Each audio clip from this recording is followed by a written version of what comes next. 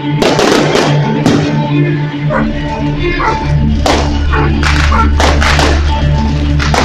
you.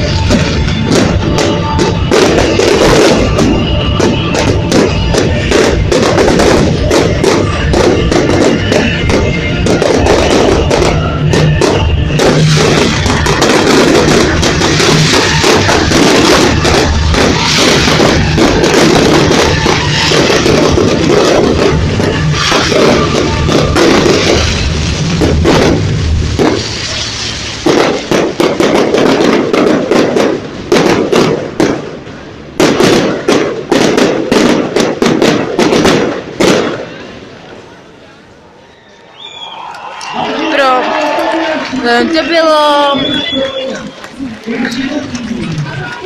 To byl ohňostroj na svatého Martina v Jihlavě. Kristýna Donová.